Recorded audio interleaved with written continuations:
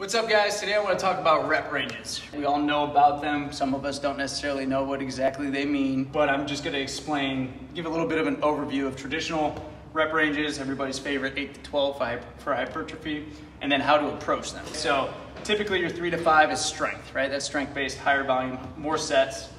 5 to 10 is hypertrophy, okay? A little less sets than the strength. And then 10 to 15 is your toning. And anything plus that and beyond is also considered toning, high rep, more blood flow, tendon health than actual strength and size gains. 8 to 12 is everybody's classic, you know, bodybuilding hypertrophy range, okay?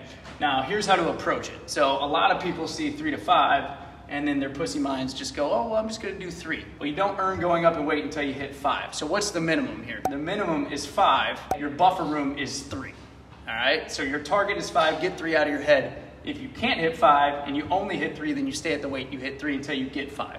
Okay? Same thing for five to 10, 10 to 15, eight to 12. Your target is not the lower number. Okay? Get rid of that mindset. Your target is the higher number. If you're hitting that, you're gonna see gains a lot faster.